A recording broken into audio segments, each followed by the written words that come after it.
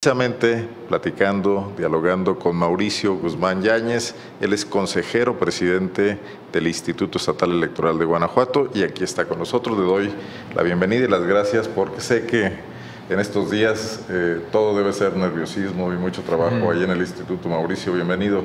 Gracias Arnoldo, muchas gracias y buenos saludos a todas las personas que nos siguen a través de este importante medio de comunicación y bueno, pues estamos preparados y más que nerviosos, muy emocionados. ¿eh? Venimos con un trabajo ya de ocho meses incesante desde que nos instalamos el 7 de octubre. Venimos trabajando de manera muy intensa en coordinación con, no solamente con el INE, sino también con distintas autoridades en materia de seguridad pública, de gobierno, de procuración de justicia, con los notarios, con los jueces y todo, bueno, pues para que el día 7 de junio todo esté dado para que la ciudadanía pueda salir a votar.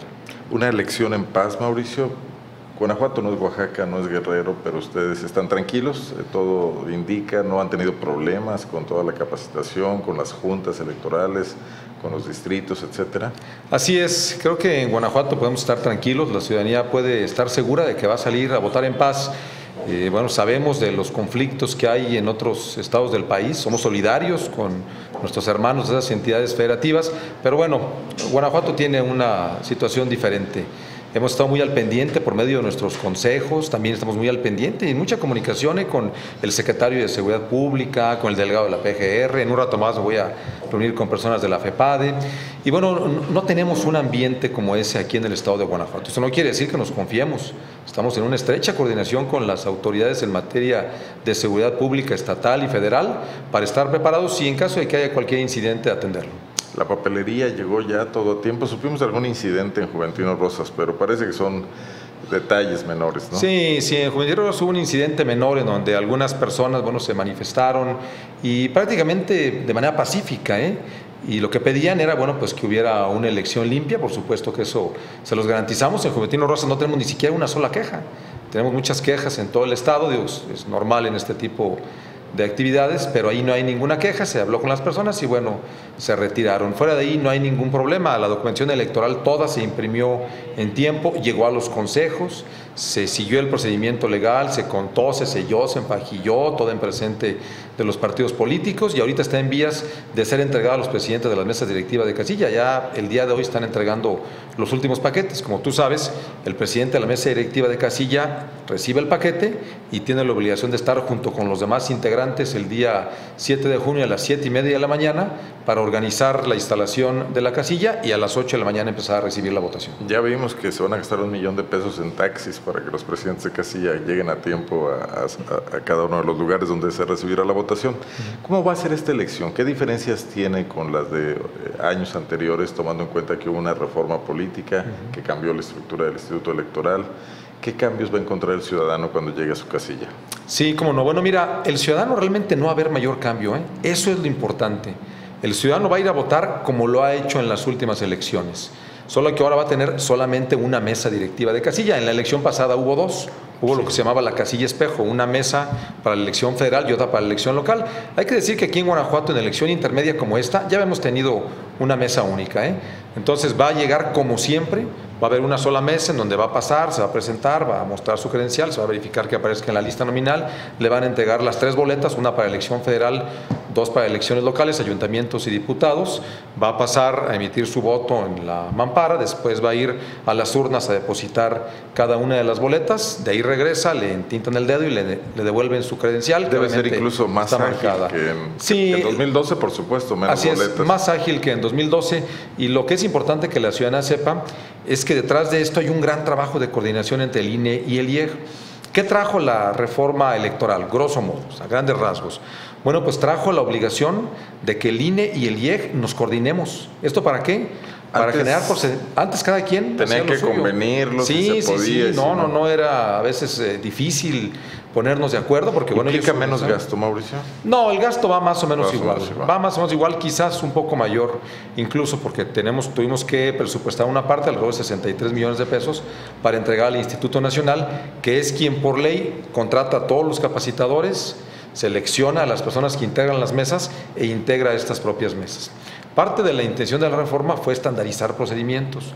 Por ejemplo, digo, esto, esto la gente que va a votar no lo ve, pero la gente que fue funcionario de mesa directiva de casilla o que fue representante de partido en casilla lo vivió y quizás lo sufrió, porque cuando teníamos incluso la mesa única en elección intermedia, los funcionarios de la mesa directiva de casilla tenían que entenderle a las reglas federales y a las estatales. Tenían que conocer cómo llenar el acta federal y cómo llenar el acta estatal. Había incluso reglas diferentes, Arnoldo. En la elección pasada, tú te has de acordar, en el tema de las coaliciones. En la elección pasada, en materia federal, cuando la gente tachaba más de un emblema en una coalición, el voto contaba tanto para el partido como para el candidato. Pero a nivel local no. A nivel local el voto contaba solamente para el candidato, pero se anulaba para el partido. Entonces, eso es parte de la, la capacitación. Se, se, prorrateaba la sí, así es, votos. Exactamente. Ahora ya esa regla también es igual.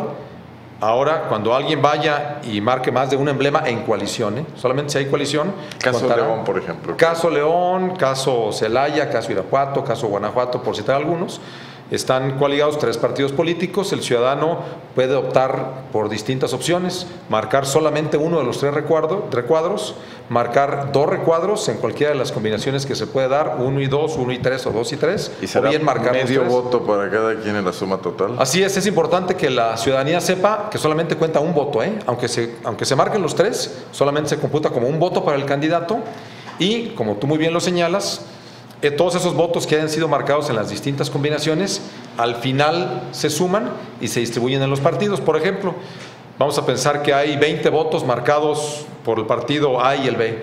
Al final se le dan 10 votos a uno y 10 votos a otros. Hay que tener presente que esto es para efectos de representación proporcional, tanto en regidores, en el caso de diputados, también de diputados de RP. ¿Cuánta gente va a estar trabajando el domingo, estos voluntarios que van a estar en las casillas? Sí, bueno, mira, en lo que es funcionarios de mesa directiva de casilla, incluyendo al presidente, secretarios, escrutadores y suplentes, son poquito más de 63 mil personas, ciudadanos. Además de eso, el Instituto Nacional Electoral tiene poquito más de 2 mil capacitadores, que son más o menos 1.700 y fracción, más los supervisores.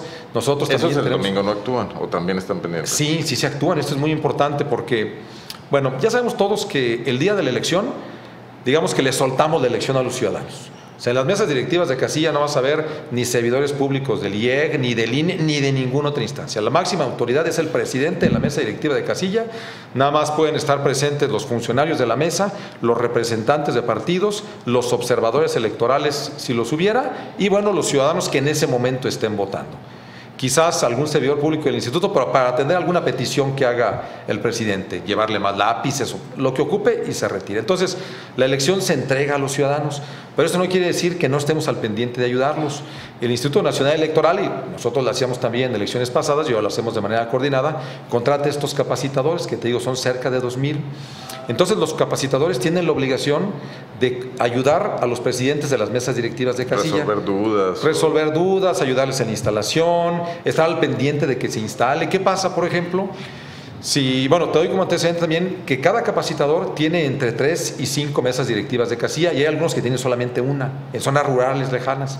Entonces el capacitador sabe y tiene desde el inicio de la capacitación contacto estrecho con el presidente de la mesa, tiene su celular, está para apoyarlo, si algo se le atoró en la mañana, pues va por él, si un presidente no llegó, que nos den las 8 y no llega el presidente, que es quien trae la documentación, el capacitador tiene que estar enterado, incluso antes de que alguien le avise, e ir por él, ya nos ha pasado, en la elección pasada nosotros nos pasó, un presidente no llegaba y no llegaba, fuimos a su casa, le tocamos, casi tumbamos la puerta, pues por fin se despertó ahí, como que se había desvelado y pues nos entregó el paquete y nos fuimos a instalarlo obviamente con los eh, integrantes que estaban y bueno, pues están los suplentes. Entonces, los capacitadores... La mayor parte es responsable, ¿no? la mayor parte es muy responsable. Son casos muy, muy raros aquí en Guanajuato, la ciudadanía es mucho, muy responsable, pero bueno, para eso están los capacitadores, para auxiliarles que por algo no pudieron salir, se les descompuso el coche, el capacitador pues va por él y lo lleva. O sea, cada capacitador se hace cargo de sus una, dos, tres, cuatro o cinco casillas máximo. ¿Cuál es el promedio de electores que tiene cada casilla? El, universo posible de ir a votar. Sí, sí, sí. Bueno, partamos del, de la cifra global. En el estado de Guanajuato, la lista nominal tiene cuatro, poquito más de 4 millones 900 mil electores. Está, está cerca de los 5 millones. De eso, bueno, pues varía, porque en cada casilla no puede haber más de 750 electores. Tú sabes que las eh, secciones electorales deben de tener cuando mucho 3.000 electores y ese es un tema en donde habrá que hacer mucho trabajo porque bueno, hay secciones electorales que tienen 5.000, 8.000, 10.000 electores. Pero esto se divide entre 750 y se instalan tantas casillas como número de veces quepa en 750. Los partidos siempre se han quejado mucho de las casillas especiales o de las casillas B, ¿no? Que llamaban antes B, ¿eso cómo va? Sí, bueno, tenemos las casillas básicas, las contiguas, las especiales y extraordinarias. Las básicas y las contiguas son las que se instalan en función al número de electores que haya, divididos entre 750. Las casillas especiales, que hay 34 en todo el estado, son las que se instalan en los lugares de tránsito. Normalmente en el centro comercial, la central, eh, la central camionera. Y el reclamo que ha habido es que a veces hay muy pocas boletas. ¿Por qué? Porque en las casillas esta vez le veo poco sentido, porque eh, el distrito es el que marca el asunto y el municipio, digo, si yo ando muy lejos de mi distrito no voy a poder votar. No es como el caso de la elección de presidente de la República, ¿no? Sí, así es, pero bueno, puede suceder que alguien esté, no sé, pensemos en municipios. Silao y, y puede votar por diputado local. Sí, sí, exactamente. Entonces, siendo de Guanajuato, digamos. Exactamente. Es un caso uh, muy, muy bueno, pues, el distrito 8 estás a lo mejor en Silao, estás en tu distrito y puedes votar por diputados, pero puede suceder que por cuestiones de trabajo o las que sean, estés incluso fuera de tu distrito.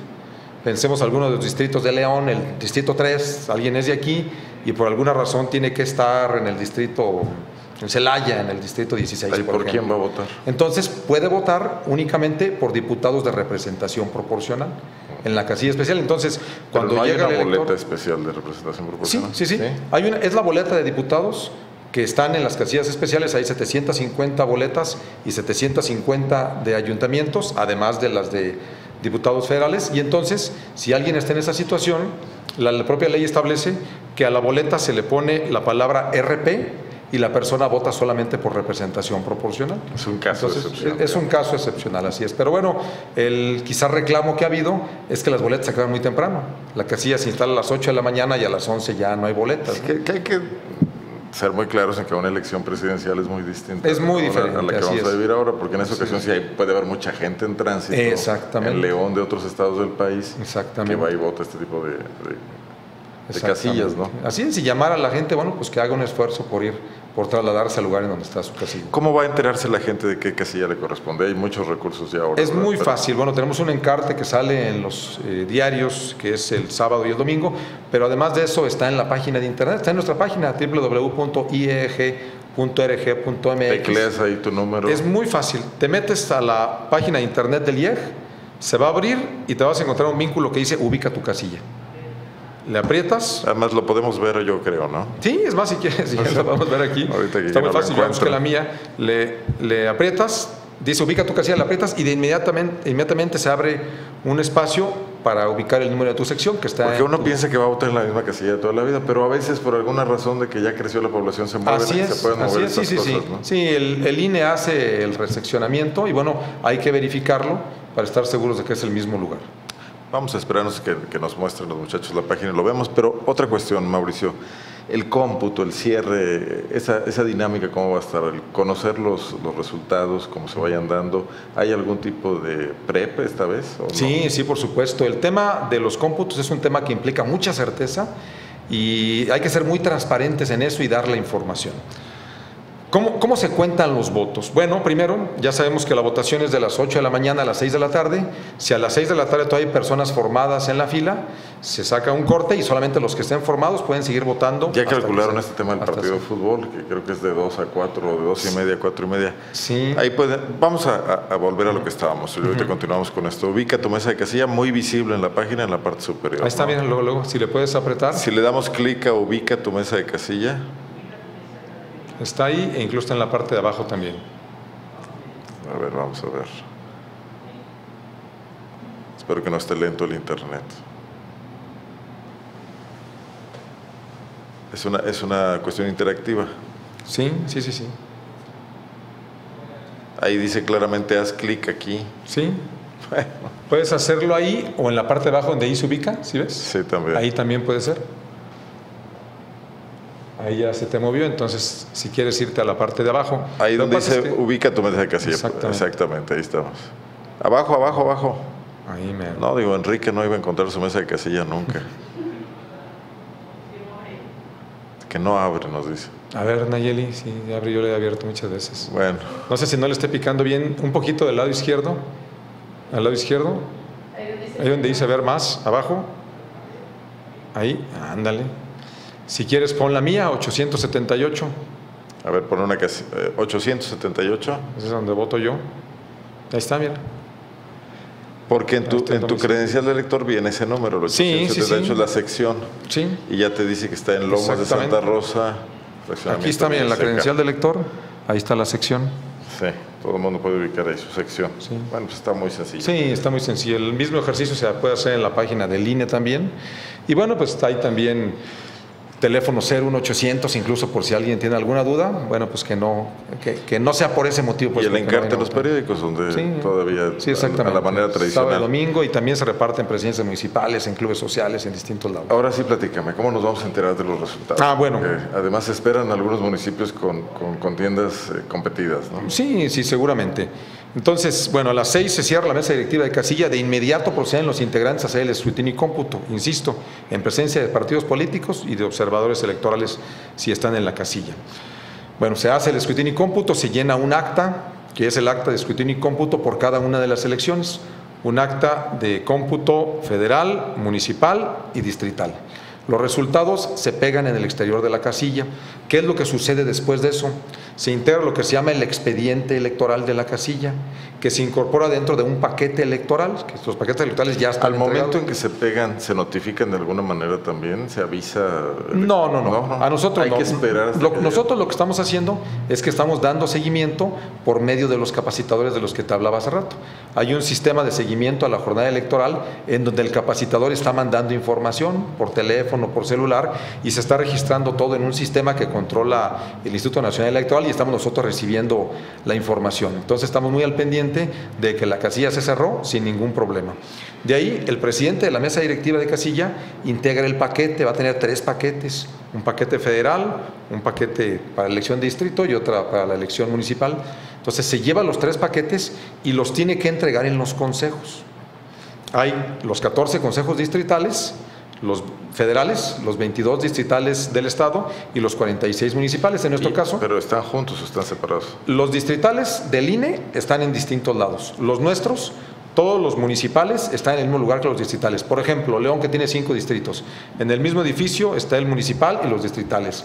Lo mismo sucede en Irapuato, Salamanca y Celaya, que tienen cada uno dos distritos. Y en todos los demás, en donde hay un solo distrito, también está en donde está el Consejo Municipal. Por ejemplo, tiene que recorrer ahí por lo menos un par de lugares. Sin embargo, tenemos un mecanismo para entregar rápido y con seguridad estos paquetes. Entonces, hay centros de recepción y traslado, en donde, por ejemplo, aquí en el Distrito 3 de León, Distrito... Eh, eh, federal, se estarán entregando los paquetes que se llevarán a algunos de los distritos estatales. En algunos otros casos, el presidente de la mesa lo lleva directo al distrito o municipio que se trate. Es, es, muy casuístico, existe ya toda la mecánica. Por ejemplo, si aquí es el distrito. si aquí, si aquí fuera el consejo y la casilla está a tres cuadras, pues se lo trae el presidente de la mesa. Pero si te queda muy Si está, no sé, a 20 minutos, lo lleva exactamente. En las comunidades rurales también tenemos centros de recepción y traslado. Todo esto es conocido por los representantes de, las, de los partidos políticos y conocen, tenemos perfectamente ubicada la ruta que sigue cada uno de los paquetes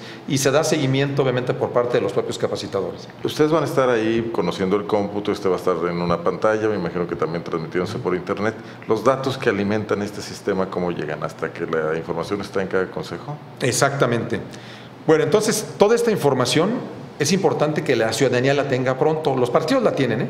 porque en cada mesa directiva de casilla representantes de partidos, se llena el acta y se le entrega una copia a cada uno de los representantes. El acta original se va dentro del paquete, pero la primera copia del acta va por fuera del paquete, en un sobre, que es un sobre transparente de plástico, una bolsa, que se llama sobre PREP. ¿Qué es lo que sucede? La intención es, mediante el programa de resultados electorales preliminares, dar a conocer lo más rápido posible información a la ciudadanía. Entonces, ¿qué va a pasar en un ejemplo? Ahí seleccionan una muestra de no, no, no, no, no, no, no, son todos, son todos, no es un conteo rápido, es el cómputo de todas las actas que haya. Debo aclarar que algunas actas que son las menos no las tenemos porque a veces que el funcionario se equivoca y entonces el acta PREP no la pone por fuera, la pone por dentro del paquete y nosotros no podemos abrir los paquetes. El paquete va sellado, se llega, se resguarda en una bodega y hasta el miércoles se abre la bodega en presencia de los partidos y se hace el cómputo. Pero bueno, el, digamos, el 90% o un poquito más cumplen con la, digamos, esta obligación de meter el acta PREP por fuera.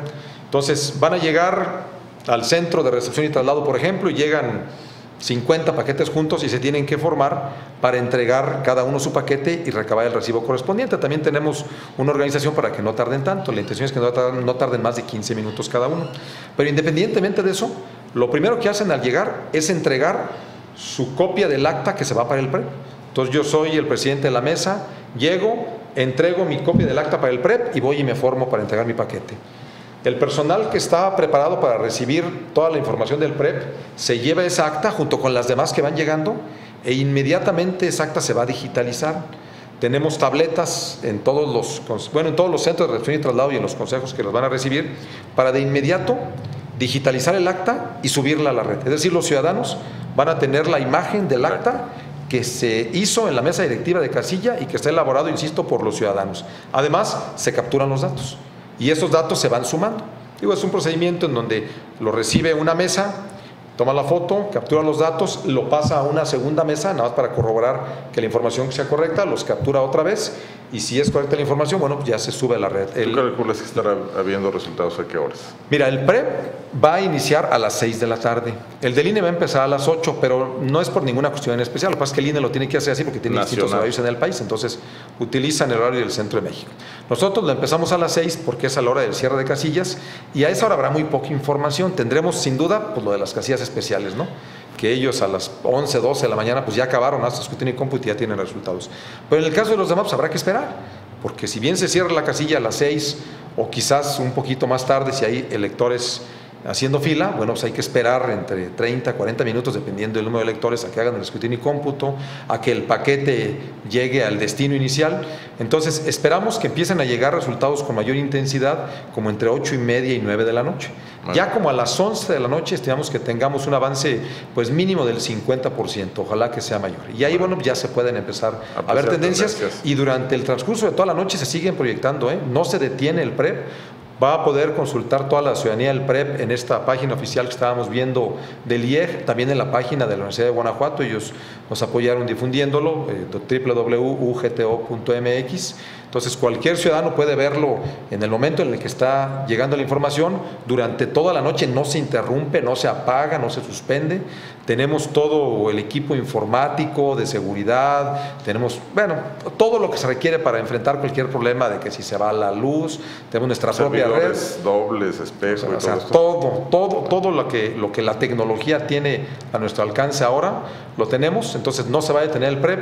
En el Consejo General van a estar pantallas eh, eh, presentando los datos, también va a haber pantallas. es lo mismo que uno puede consultar. Exactamente lo mismo que ustedes van a consultar por internet, se va a estar proyectando en el Consejo General, en cada uno de los 68 consejos, los 46 municipales y 22 distritales, y además en cada una de las sedes de los órganos directivos de los partidos políticos. Ahí vamos a instalarles también pantallas y computadora para que estén revisando el PREP y además, obviamente que el Consejo General estará en sesión permanente desde las 8 de la mañana. El, el Consejo General no clausura la sesión, sino hasta que hayamos recibido todos los paquetes en cada uno de los consejos y además que se haya hecho el canto. El canto es otra cosa. Una cosa es el PREP, llega la información y se va, se va subiendo, se va subiendo, pero además se entrega el acta PREP, el presidente de la mesa se forma para entregar su paquete, entrega su paquete mediante un recibo, se retira, recibe su dinero para tomar su taxi y obviamente nuestro agradecimiento por habernos apoyado en la jornada y ese paquete sigue otro curso porque se va al consejo, si es ese mismo o si está en otro lado, bueno, seguirá el trayecto ese paquete hasta llegar al Consejo Destino, en donde ya lo van a estar esperando los integrantes del Consejo, representantes de partidos y obviamente consejeros, para empezar lo que se llama el canto.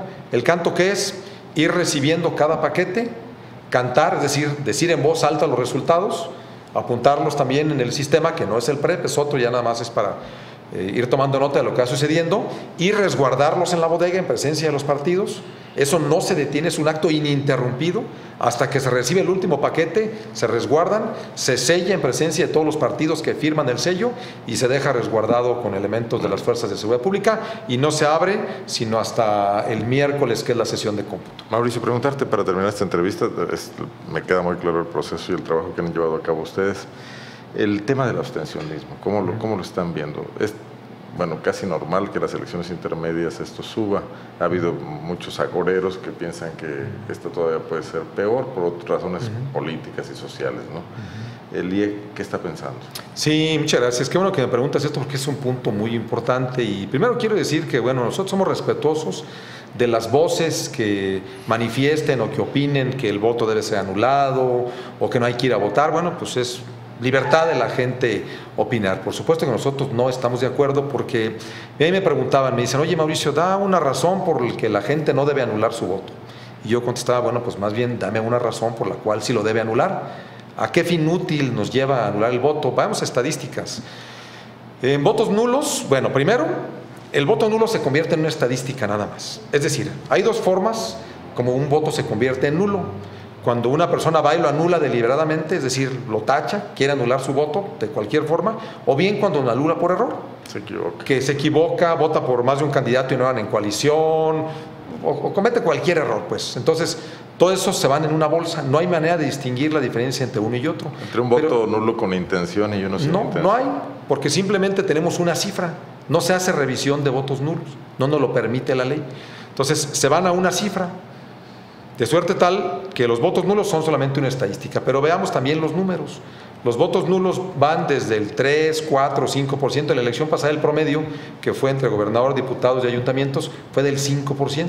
Es del el 5% del 100% de los votos emitidos, que en la elección pasada fue del 60% de la participación, fueron 5% votos nulos. O sea, no, no es muy trascendente, no pinta pues... habría partidos políticos que matarían por ese 5%. Bueno, no, no. por supuesto, pero fíjate, aún en ese caso no cuentan porque cuando haces, cuando haces tú ya la, declaratoria de quién ganó, bueno, los votos nulos no cuentan. Pero, ¿qué pasa? Cuando haces repartición, cuando haces repartición de RP, tienes la votación total, la votación válida y la votación estatal. La votación total es la que incluye los votos nulos y los votos por candidatos no registrados. Pero después, para sacar la votación válida, se eliminan los votos nulos y los votos por candidatos no registrados y se toma ese factor para repartir eh, diputados de representación proporcional y después repartir financiamiento público. Entonces, ni siquiera ahí tienen un efecto los votos nulos. Nuestro llamado es a la ciudadanía, más bien, hacer un ejercicio diferente. Yo los invito en esta elección a que hagamos un ejercicio diferente, porque también esto de anular los votos no es nuevo. Esto en elecciones pasadas es, algo, es, algo, recurrente en donde salen voces a invitar a que voten eh, en esta forma, que anulen su voto, pero yo les invito a que hagan algo diferente, Arnoldo. ¿Por qué no vamos haciendo un ejercicio? ¿Por qué no vamos aumentando la participación? ¿Y qué te parecería que en una elección intermedia como esta, en donde el promedio oscila entre el 48 y 50%, que ahora votaran el 70 o el 80%? ¿Por qué no hacemos el ejercicio y vemos qué sucede? Yo te digo sí que creo que va a suceder. Yo creo que los eh, candidatos que resulten electos y que se conviertan en gobernantes se van a preocupar más, porque se van a dar cuenta que no llegaron a la elección con el voto de unos cuantos, en donde quizás está buena parte de su militancia, sus adherentes y simpatizantes, sino que la ciudadanía en general está participando y está votando. Y también en 2018, ahora los candidatos que resulten electos, tanto para ayuntamientos como para diputados, se van a poder reelegir. Y seguramente muchos lo van a intentar y se van a preocupar más. Ayuntamientos y diputados locales. Así es, tanto en ayuntamientos como diputados locales, también diputados federales. Los ayuntamientos se van a... es 2018. Diputados. Por eso, en 2018. O sea, ahorita, los que resulten electos ahorita, en 2018 se van a poder reelegir. Los candidatos a presidentes municipales por una elección más y los candidatos a diputados por tres más. O sea, podrán permanecer 12 años, o sea, a partir de 2018, no en esta. Entonces, muy seguramente muchos de ellos estarán buscando la reelección. Entonces, ¿qué es lo que hay que hacer? Mi opinión, salir a votar, hacer algo que realmente pueda ser útil y además no conformarnos solamente con salir a votar. Una vez que queden electos, independientemente de que sea o no por quien nosotros optamos, bueno, pues exigirle que rinda cuentas, pedir información, estar al pendiente de que cumplan con las eh, propuestas que hicieron, participar activamente en distintas actividades. E, esa es, esa es la invitación que hacemos, a darle utilidad a nuestro voto y además a estar conscientes de lo importante que es, Arnoldo, de lo, de lo que se ha, digamos, sufrido en nuestro país por llegar al estado en el que nos encontramos. Y de este esfuerzo que se hace para garantizar que el voto cuente. Exactamente. Te agradezco mucho que te hayas el tiempo para venir aquí, para plantearnos este panorama. Y bueno, el domingo a lo mejor por ahí te buscamos. Seguramente. Sin interrumpir para ver cómo va la jornada en los momentos en que veamos que ya es importante dar una opinión. ¿no? no interrumpes, estaremos en sesión permanente, pero hay muchos recesos. Estamos a la orden tuya y de todos los medios de comunicación y aprovecho para agradecer la importante labor que hacen todos los medios de comunicación en este proceso electoral. Muchas gracias, Mauricio. Al contrario. El presidente, consejero presidente del Instituto Electoral del Estado de Guanajuato la elección este 7 de junio. Ya escuchó usted, ha escuchado aquí muchas argumentaciones distintas, pero la decisión está en sus manos. Voy a continuar con el programa, vamos a la información.